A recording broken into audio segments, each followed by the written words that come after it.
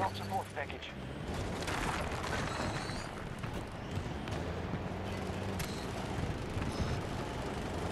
We have captured all of Delta Sector.